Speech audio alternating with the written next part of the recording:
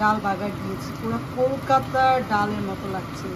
পাঁচ ফোড়ন দিয়ে, শুকনো মরিচ দিয়ে, তেজপাতা দিয়ে, ডালটা ডালটা অনেক মজা হয়েছে, টমেটো দিয়ে।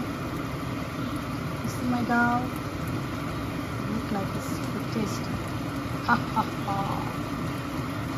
রান্না করতেছি ছেলের জন্য চিকেনটাই ঝাল ছাড়া টমেটোর উপরে রসা রসা করছি, তারপরে মাংসটা কুক হয়ে গেলে আলু ছেড়ে দেবো। মানে ছেলে খায়, ছোটো ছেলে খায় ঝাল ছাড়া। আবার ঝাল চিপস খেতে পারবে। সে ঝাল চিপস খাবে, তো ঝাল আর কারি খেতে পারবে না তার প্রবলেম ঝাল ঝাল দেওয়া কারি খেলে। যত বিদেশি বাচ্চাদের একদিন আর প্রবলেম ওকে?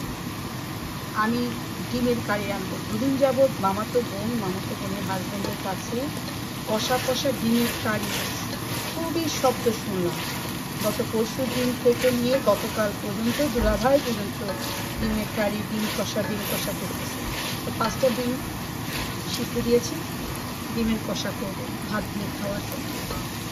বিখ্যাত ডিম যেটাকে আমি সিদ্ধ করেছি, দুদিন যাবৎ বলেছি না, ডিম কষা ডিম কষা মামা তো বোনের তো বোনের কাছে, বোনের হাজব্যান্ডের কাছে শুনতেছি, ডিম কষা ডিম কষা, কারণ দুলা ভাই খুব পছন্দ করে ডিম কষা।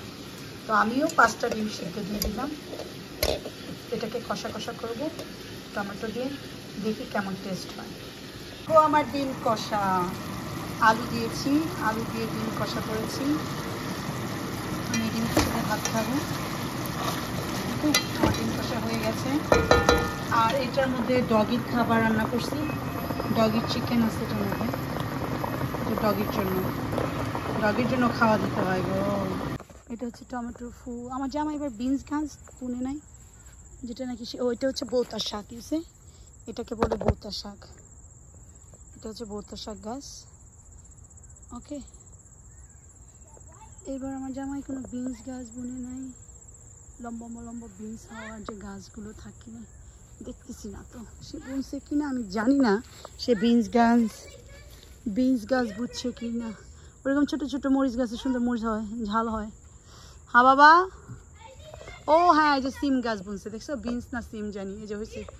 কিন্তু এখনও আসে নাই ফল। তোমাকে ও মা ইউ ক্যান